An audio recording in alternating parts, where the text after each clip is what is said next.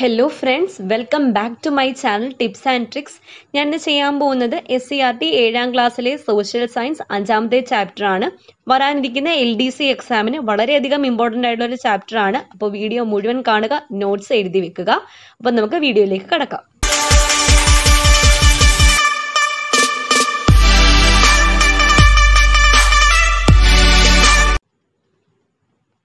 അഞ്ചാമത്തെ ചാപ്റ്റർ സാമ്പത്തിക സ്രോതസ്സുകൾ. ആദ്യം പറയുന്നത് സ്കൂളിലെ ഓരോ കുട്ടിയെയും സംബന്ധിക്കുന്ന എല്ലാ വിവരങ്ങളും ശേഖരിച്ച് രേഖപ്പെടുത്തുന്നതിനായി നടപ്പാക്കുന്ന ഒരു പദ്ധതിയാണ് സമ്പൂർണ. അത് സ്കൂളുകളിൽ നടപ്പാക്കുന്ന ഒരു പദ്ധതിയാണ്. ജസ്റ്റ് ഒന്ന് അറിഞ്ഞിരിക്കുക. അപ്പൊ ഇതിൽ ആദ്യം പഠിക്കാനുള്ളത് പ്രാഥമിക മേഖല ദ്വിതീയ മേഖല തൃതീയ മേഖല. അതായത് നമുക്കറിയാം primary sector secondary sector tertiary sector. തൊഴിൽ മേഖലകളെ പറ്റിയാണ് ആദ്യം പഠിക്കാനുള്ളത്. അപ്പം എന്താണ് പ്രാഥമിക മേഖല? പ്രകൃതി വിഭവങ്ങൾ നേരിട്ട് ഉപയോഗപ്പെടുത്തി നടത്തുന്ന പ്രവർത്തനങ്ങൾ ഉൾപ്പെടുന്ന മേഖല പ്രാഥമിക മേഖല എന്നാണ് അറിയപ്പെടുന്നത്. കൃഷിക്ക് കൂടുതൽ പ്രാധാന്യമുള്ളത് കൊണ്ട് കാർഷിക മേഖല എന്നും ഇത് അറിയപ്പെടുന്നു. അപ്പോൾ കൃഷിക്ക് പ്രാധാന്യമുള്ള മേഖലയാണ് പ്രാഥമിക മേഖല. പ്രാഥമിക മേഖലയിൽ ഉൽപ്പന്നങ്ങൾ പ്രാഥമിക മേഖലയിലെ ഉൽപ്പന്നങ്ങൾ അസംസ്കൃത വസ്തുവായി ഉപയോഗിച്ച് പുതിയ ഉൽപ്പന്നങ്ങൾ ഉണ്ടാക്കുന്ന പ്രവർത്തനങ്ങൾ നടക്കുന്ന മേഖലയാണ് ദ്വിതീയ മേഖല അഥവാ സെക്കൻഡറി സെക്ടർ വ്യവസായത്തിന് പ്രാധാന്യമുള്ള ഈ മേഖലയെ വ്യവസായ മേഖല എന്നും വിളിക്കുന്നു. അപ്പോൾ പ്രാഥമിക ദ്വിതീയ മേഖലകളിലെ ഉൽപ്പന്നങ്ങൾ സംഭരിക്കുന്നതും വിതരണം ചെയ്യുന്നതും സേവന മേഖലയിലെ പ്രവർത്തനങ്ങളാണ്. ഇവയ്ക്ക് പുറമെ സേവന മേഖലയിൽ വിദ്യാഭ്യാസം ഗതാഗതം ബാങ്കിംഗ് ഐ ടി തുടങ്ങിയവയും ഉൾപ്പെടുന്നു. സേവന മേ പ്രവർത്തനങ്ങൾ എല്ലാം ചേർന്നതാണ് തൃതീയ മേഖല. ഇത് സേവന മേഖല എന്നും പറയുന്നു. ഇത് ജസ്റ്റ് ഒന്ന് ഇൻട്രൊഡക്ഷൻ ആയിട്ട് പറയുന്നതാണ് ഓർത്തിരിക്കുക. അപ്പോൾ ഈ പ്രാഥമിക ദ്വിതീയ തൃതീയ മേഖലകൾ പരസ്പരം ബന്ധപ്പെടുത്തിയാണ് ബന്ധപ്പെട്ട് പ്രവർത്തിക്കുമ്പോഴാണ് സാമ്പത്തിക വളർച്ച ഉണ്ടാകുന്നത്. പ്രാഥമിക മേഖലയിലെ ഒരു ഉദാഹരണം പറഞ്ഞേക്കുവാണ്. പ്രാഥമിക മേഖലയിലെ ഉൽപ്പന്നമായ പരുത്തി ദ്വിതീയ മേഖലയായ തുണി വ്യവസായ മേഖലയ്ക്ക് അസംസ്കൃത വസ്തുവാണ്.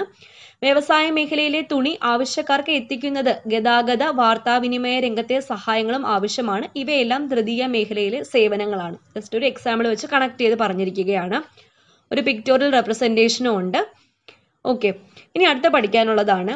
പ്രാഥമിക ദ്വിതീയ തൃതീയ മേഖലകളിൽ ഉൾപ്പെടുന്ന സാമ്പത്തിക പ്രവർത്തനങ്ങളെ central statistical office C S O വർഗീകരിച്ചിട്ടുണ്ട് അപ്പം എന്താണ് സെൻട്രൽ സ്റ്റാറ്റിസ്റ്റിക്കൽ ഓഫീസ് അഥവാ സി എസ് ഒ കേന്ദ്ര സ്ഥിതിവിവര പദ്ധതി നിർവഹണ മന്ത്രാലയത്തിന്റെ കീഴിൽ പ്രവർത്തിക്കുന്ന സ്ഥാപനമാണ് സെൻട്രൽ സ്റ്റാറ്റിസ്റ്റിക്കൽ ഓഫീസ് കേന്ദ്ര സ്ഥിതിവിവര പദ്ധതി നിർവഹണ മന്ത്രാലയത്തിന്റെ കീഴിൽ. എന്താണ് പ്രധാന ചുമതലകൾ? സ്ഥിതിവിവര കണക്കുകളുടെ സംയോജനവും വിശകലനവും നടത്തുന്നു. എല്ലാ മേഖലകളിലും സ്ഥിതിവിവര കണക്കുകൾ ശേഖരിച്ച് ആസൂത്രണ പ്രവർത്തനങ്ങൾക്ക് ഉപയോ ഉപയോഗിക്കുന്ന തരത്തിൽ ചിട്ടപ്പെടുത്തുന്നു.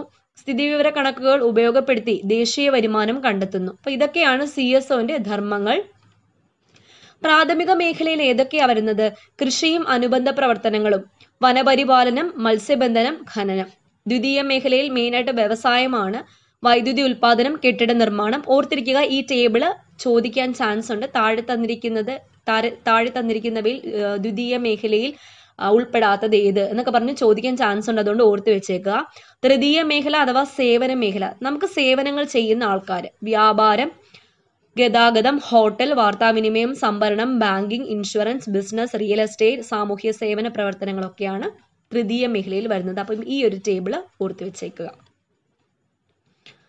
മേഖലകളും തൊഴിൽ ലഭ്യതയും.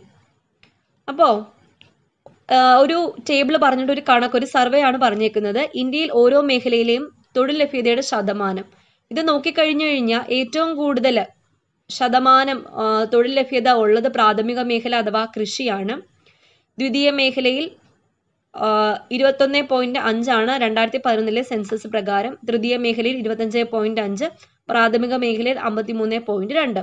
അപ്പൊ ഈ പട്ടികയിൽ നിന്ന് നമ്മൾ മനസ്സിലാക്കുന്ന കാര്യം ഏറ്റവും കൂടുതൽ തൊഴിലവസരങ്ങൾ ലഭ്യമാകുന്നത് പ്രാഥമിക മേഖലയിലാണ്. ഇവിടെ കൃഷിയും അനുബന്ധ പ്രവർത്തനങ്ങളുമായി പ്രവർത്തനങ്ങളുമാണ് കൂടുതൽ തൊഴിലവസരങ്ങൾ ലഭിക്കുന്നത്. നമുക്ക് ആവശ്യമായ ഭക്ഷ്യവസ്തുക്കൾ ഉൽപ്പാദിപ്പിക്കുന്നത് ഈ മേഖലയിലെ പ്രവർത്തനം വഴിയാണ്. ഓക്കെ. അപ്പോൾ ഭക്ഷ്യോൽപാദനത്തെ പറ്റി സ്വാതന്ത്ര്യം ലഭിച്ചത് മുതൽ ഇന്ത്യ പ്രാഥമിക മേഖലയുടെ വികസനത്തിന് പ്രാധാന്യം നൽകിയിരുന്നു. നമുക്കറിയാം ഒന്നാം പഞ്ചവത്സര പദ്ധതിയുടെ ലക്ഷ്യം തന്നെ കൃഷിക്കാണ് ഊന്നൽ നൽകിയത്. ആസൂത്രണത്തോടെയുള്ള പ്രവർത്തനങ്ങൾ നമ്മുടെ ഭക്ഷ്യോൽപാദന രംഗത്ത് ധാരാളം മാറ്റങ്ങൾ ഉണ്ടാക്കി. തൊഴിലവസരങ്ങൾ വർദ്ധിക്കുക മാത്രമല്ല ഭക്ഷ്യോൽപാദനത്തിൽ ഗണ്യമായ വർധനവും ഉണ്ടായി.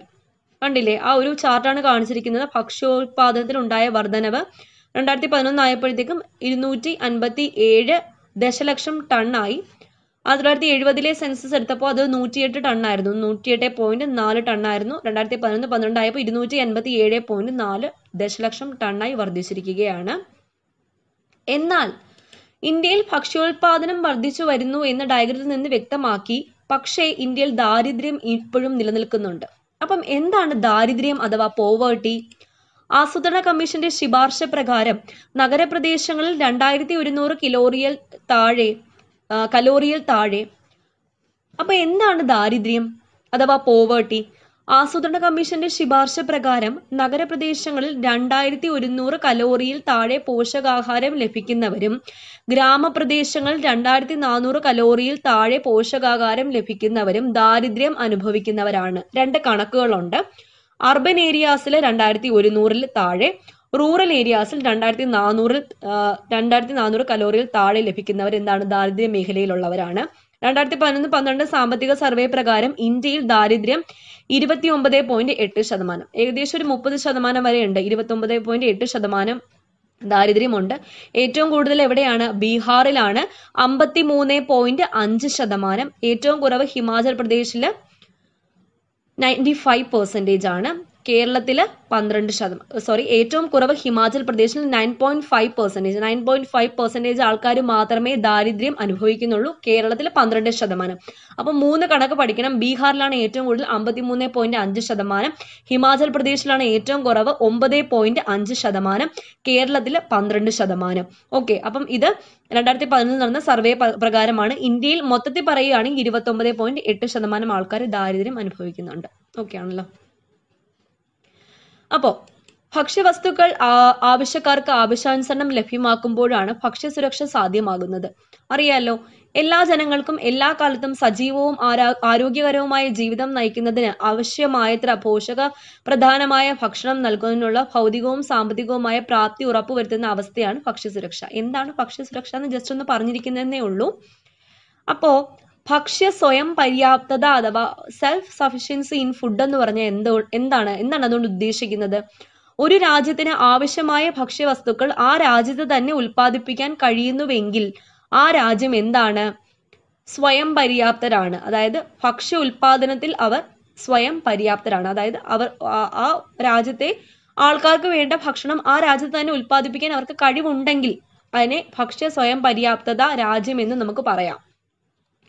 അപ്പോ ദാരിദ്ര്യ നിർമ്മാർജന പ്രവർത്തനങ്ങൾ സർക്കാർ തലത്തിൽ നടപ്പിലാക്കി വരുന്ന കുറച്ച് ദാരിദ്ര്യ നിർമ്മാർജന പദ്ധതികളും പരിപാടികളുമാണ് പറയുന്നത്. ഒന്ന് സർക്കാർ പദ്ധതികൾ. അന്നപൂർണ അന്ത്യോദയ അന്ന അന്ന യോജന മഹാത്മാഗാന്ധി ഗ്രാമീണ തൊഴിലുറപ്പ് പദ്ധതി. സ്വർണ ജയന്തി ഷഹാരി റോസ്ഗാർ യോജന. അപ്പം ഇതൊക്കെ സർക്കാരിന്റെ സ്കീംസ് ആണ്. സർക്കാർ പരിപാടികൾ ഏതൊക്കെയാണ്? സംയോജിത ശിശു വികസന പരിപാടി I C D S. School ഉച്ചഭക്ഷണ പരിപാടി നൂൺമീൽ ദേശീയ ഗ്രാമീണ ഉപജീവന ദൗത്യം. അപ്പം നമുക്ക് നോക്കാം. ഈ സ്കീംസ് വളരെയധികം ഇമ്പോർട്ടന്റ് ആണ്. അപ്പം ശ്രദ്ധിച്ചിരിക്കുക ടെക്സ്റ്റിൽ ഒരു ഫ്ലോ ചാർട്ട് എന്ന രീതിയിൽ ഇതിനെപ്പറ്റി പറയുന്നുണ്ട്. അതുകൊണ്ട് വളരെയധികം ശ്രദ്ധിച്ചിരിക്കുക. ഒന്നാമത്തത് സ്വർണ ജയന്തി ഷഹാരി റോസ്ഗാർ യോജന. നഗരങ്ങളിലെ തൊഴിൽ രഹിതർക്ക് പ്രയോജനം ലഭിക്കുന്നു. സ്വയം തൊഴിൽ പ്രോത്സാഹിപ്പിക്കുന്നു. അപ്പൊ ഷഹാരി റോസ്ഗാർ അതായത് തൊഴിൽ രഹിതർക്ക് തൊഴിൽ നൽകുന്ന പരിപാടിയാണ്. സ്വയം തൊഴിൽ തൊഴിലാണ് ഇത് പ്രോത്സാഹിപ്പിക്കുന്നത്. എന്ത്? സ്വർണ ജയന്തി ഷഹാരി റോസ്ഗാർ യോജന. അടുത്തത് ഉച്ചഭക്ഷണ പരിപാടി. അത് നമ്മൾ എല്ലാവർക്കും സുപരിചിതമായിട്ടുള്ള ഒരു പരിപാടിയാണ്. എല്ലാ ഗവൺമെന്റ് അല്ലെങ്കിൽ ഗവൺമെന്റ് എയ്ഡഡ് സ്കൂളുകളിലെയും എട്ടാം ക്ലാസ് വരെയുള്ള കുട്ടികൾക്ക് പ്രയോജനം. സ്കൂൾ മുഖേന പോഷക മൂല്യമുള്ള ആഹാരം ഉറപ്പുവരുത്തുന്നു ഉച്ചഭക്ഷണ പരിപാടി ന്യൂൺ മീൽ പ്രോഗ്രാം അന്നപൂർണ എന്താണ്? സ്വന്തമായി വരുമാനമില്ലാത്ത അറുപത്തഞ്ച് വയസ്സിനു മേൽ പ്രായമുള്ളവർക്ക് പ്രയോജനം. അപ്പൊ ആർക്കാണ് പ്രയോജനം? സ്വന്തമായി വരുമാനമില്ലാത്ത അറുപത്തഞ്ചിന് വയസ്സിന് മേൽ പ്രായമുള്ളവർക്ക് മാസം പത്ത് കിലോ അരി സൗജന്യമായി റേഷൻ കടയിലൂടെ നൽകുന്നു. എത്ര കിലോ അരിയാണ്? പത്ത് കിലോ അരിയാണ് അന്നപൂർണ സ്കീമിലൂടെ നൽകുന്നത്. അന്ത്യോദയ അന്ന യോജന. ദാരിദ്ര്യരേഖയ്ക്ക് താഴെയുള്ള ഏറ്റവും പ്രയാസപ്പെടുന്ന കുടുംബങ്ങൾക്ക് പ്രയോജനം? മാസം മുപ്പത്തഞ്ച് കിലോ അരി മൂന്ന് രൂപയ്ക്ക് ഗോതമ്പാണെങ്കിലോ രണ്ട് രൂപയ്ക്കും കൊടുക്കുന്നു. അപ്പോൾ മുപ്പത്തഞ്ച് കിലോ അരിയാണ് മൂന്ന് രൂപയ്ക്ക് ഗോതമ്പ് രണ്ട് രൂപയ്ക്ക്. ഏത് പ്രോഗ്രാം വഴിയാണ് ഏത് സ്കീം വഴിയാണ്? അന്ത്യോദയ അന്ന യോജന വഴിയാണ്. മഹാത്മാഗാന്ധി ഗ്രാമീണ തൊഴിലുറപ്പ് പദ്ധതി. ജോലി ചെയ്യാൻ ആരോഗ്യവും സന്നദ്ധതയും ഉള്ളവർക്ക് തൊഴിൽ. നൂറ് ദിവസത്തെ തൊഴിൽ ഉറപ്പാക്കുന്ന പദ്ധതി. പതിനെട്ട് വയസ്സ് പൂർത്തിയാ ആയ പതിനെട്ട് വയസ്സ് പൂർത്തിയായവർക്ക് രജിസ്റ്റർ ചെയ്യാം. ഗുണഭോക്താക്കളിൽ മൂന്നിലൊന്ന് സ്ത്രീകളായിരിക്കണം. അത്രയുള്ളൊരു വ്യവസ്ഥ മഹാത്മാഗാന്ധി ഗ്രാമീണ തൊഴിലുറപ്പ് പദ്ധതി. ഓക്കെ സംയോജിത ശിശുവികസന പരിപാടി ഐ സി ഡി എസ് എന്താണ് അംഗൻവാടികൾ മുഖേനയാണ് നടപ്പാക്കുന്നത്. ആറു വയസ്സിന് താഴെയുള്ള കുട്ടികൾ ഗർഭിണികൾ മുലയൂട്ടുന്ന അമ്മമാർ എന്നിവർക്കാണ് ഗുണം. ബെനിഫിഷ്യറീസ് അവരൊക്കെയാണ് നിശ്ചിത അളവിൽ പോഷകാഹാരം ലഭ്യമാക്കുന്നു ഓക്കെ. ദേശീയ ഗ്രാമീണ ഉപജീവന ദൗത്യം എന്താണ്? സ്വയം സഹായ സംഘങ്ങൾക്ക് സഹായം നൽകുന്നു. ബാങ്ക് വായ്പയിലൂടെയും സബ്സിഡിയിലൂടെയും പണം നൽകുന്നു. അപ്പൊ ഇതൊക്കെയാണ് പരിപാടികളും അതിന്റെ ലക്ഷ്യങ്ങളും അതിന്റെ ഗുണഭോക്താക്കളും. ഓക്കെ. ഇനി കേരളവും പൊതുവിതരണ സമ്പ്രദായവും. എന്താണ് പൊതുവിതരണ സംവിധാനം അഥവാ പബ്ലിക് ഡിസ്ട്രിബ്യൂഷൻ സിസ്റ്റം ന്യായമായ വിലയ്ക്ക് സമൂഹത്തിൽ ആവശ്യക്കാരായവർക്ക് ഭക്ഷ്യവസ്തുക്കളും മറ്റ് നിത്യോപയോഗ വസ്തുക്കളും നൽകുവാൻ ചുമതലപ്പെട്ടതും സർക്കാർ നിയന്ത്രണത്തിലുള്ളതുമായ സ്ഥാപനങ്ങളുടെ ശൃംഖലയാണ് പൊതുവിതരണ സംവിധാനം. ഉദാഹരണം താഴെ പറയുന്നുണ്ട് കേരളത്തിൽ പ്രവർത്തിക്കുന്ന പൊതുവിതരണ കേന്ദ്രങ്ങളിലൂടെ അരിയും ഭക്ഷ്യവസ്തുക്കളും മറ്റ് നിത്യോപയോഗ സാധനങ്ങളും ആവശ്യക്കാരായ എല്ലാ ജനങ്ങൾക്കും ന്യായവിലയിൽ ലഭ്യമാക്കി വരുന്നു. നിത്യോപയോഗ സാധനങ്ങൾ ന്യായവിലയ്ക്ക് ലഭ്യമാകുക എന്ന ലക്ഷ്യത്തോടെ പ്രവർത്തിക്കുന്ന ധാരാളം കേന്ദ്രങ്ങളുണ്ട്. ഏതൊക്കെയാണ്? മാവേലി സ്റ്റോർ സപ്ലൈകോ പിന്നെ നമ്മുടെ റേഷൻ ഹോർട്ടികോർപ്പ് ത്രിവേണി അങ്ങനത്തെയൊക്കെയാണ്. അപ്പോൾ കേന്ദ്രം ഏതൊക്കെയാന്ന് നോക്കാം. പൊതുവിതരണ കേന്ദ്രം. എന്തൊക്കെയാണ് അവിടെ ലഭ്യമാകുന്ന വസ്തുക്കൾ? അരി ഗോതമ്പ് പഞ്ചസാര മണ്ണെണ്ണ. ഹോർട്ടികോർപ്പിലോ പച്ചക്കറി Supplyco supermarket Nanma store Neethi store ലാഭം Supplyco market Maveli store Triveni super market Triveni floating super market എല്ലാ നിത്യോപക നിത്യോപയോഗ സാധനങ്ങളും ലഭ്യമാകുന്നു. ജസ്റ്റ് ഒന്ന് അറിഞ്ഞിരിക്കുക നമ്മൾ എല്ലാ ദിവസവും കാണുന്ന കാര്യങ്ങളാണല്ലോ. ഇനി ഭക്ഷ്യോൽപാദനം നേരിടുന്ന വെല്ലുവിളികൾ. അപ്പൊ എന്തൊക്കെയാണ്? ഭക്ഷ്യോൽപാദനം വർദ്ധിപ്പിച്ചിട്ടും കാര്യക്ഷമമായ പൊതുവിതരണ സമ്പ്രദായത്തിലൂടെ വിതരണം നടത്തിയും ഭക്ഷ്യസുരക്ഷ എന്ന ലക്ഷ്യത്തോട് അടുക്കുമ്പോഴും ഭക്ഷ്യോൽപാദന രംഗം ചില വെല്ലുവിളികൾ നേരിടുന്നുണ്ട്. എന്തൊക്കെയാണ്? കുറെ പത്രപരസ്യങ്ങളാണ് ഇവിടെ കൊടുത്തിരിക്കുന്നത്. പ്രകൃതിക്ഷോഭം മൂലമുണ്ടാകുന്ന കൃഷിനാശം കൃഷിഭൂമികൾ മറ്റു ആവശ്യങ്ങൾക്കായി ഉപയോഗിക്കുന്നു സബ്സിഡി കുറയ്ക്കുന്നു. അപ്പം ഇതൊക്കെയാണ് അവർ നേരിടുന്ന വെല്ലുവിളികൾ. അപ്പൊ ഇവിടെ ഒരു നിയമത്തെ പറ്റി പറയുന്നുണ്ട്. പി എസ് സി പരീക്ഷയിൽ സ്ഥിരം ചോദിക്കുന്ന ഒരു നിയമമാണ് ഭക്ഷ്യസുരക്ഷാ നിയമം ഫുഡ് സെക്യൂരിറ്റി ആക്ട്. രണ്ടായിരത്തി പതിമൂന്നിലാണ് പാർലമെന്റ് അംഗീകരിച്ചത്. വർഷം ഓർത്തിരിക്കുക രണ്ടായിരത്തി പതിമൂന്ന് എന്തൊക്കെയാണ് പ്രത്യേകതകൾ? ഭക്ഷ്യസുരക്ഷാ സർക്കാരിന്റെ നിയമപരമായ ഭക്ഷ്യസുരക്ഷാ സർക്കാരിന്റെ നിയമപരമായ കടമയാണ്. ആവശ്യമുള്ളത്രയും പോഷകപ്രദവും ഗുണമേന്മയുള്ളതുമായ ഭക്ഷ്യവസ്തുക്കൾ മിതമായ വിലയ്ക്ക് എല്ലാവർക്കും ഉറപ്പാക്കുക. ഭക്ഷ്യവസ്തുക്കളുടെ ലഭ്യത പൗരന്റെ നിയമപരമായ അവകാശമാണ്. ഇത് ജസ്റ്റ് പ്രത്യേകതകൾ മാത്രമേ ഉള്ളൂ. നമുക്ക് പഠിക്കേണ്ടത് ഏത് വർഷമാണ് അംഗീകരിച്ചത്? രണ്ടായിരത്തി പതിമൂന്നിലാണ് ഫുഡ് സെക്യൂരിറ്റി ആക്ട് ഭക്ഷ്യസുരക്ഷാ നിയമം അംഗീകരിച്ചത്. ഓക്കെ ആണല്ലോ? അപ്പൊ ഇത്രയേ ഉള്ളൂ ഈ ഒരു ചാപ്റ്റർ വളരെ ഈസി ആയിട്ടുള്ളൊരു ചാപ്റ്റർ ആണ്. എന്നാൽ പരീക്ഷയ്ക്ക് വളരെയധികം ഇമ്പോർട്ടന്റ് ആയിട്ടുള്ളൊരു ചാപ്റ്ററും ആണ്. അപ്പം എല്ലാവർക്കും വീഡിയോ ഇഷ്ടമായെന്ന് വിശ്വസിക്കുന്നു. ഇഷ്ടമായ ലൈക്ക് ചെയ്യുക ഷെയർ ചെയ്യുക കമന്റ് ചെയ്യുക. ആദ്യമായിട്ട് ആരെങ്കിലും കാണുന്നുണ്ടെങ്കിൽ സബ്സ്ക്രൈബ് ചെയ്യുക. അപ്പോൾ വീണ്ടും കാണാം. താങ്ക്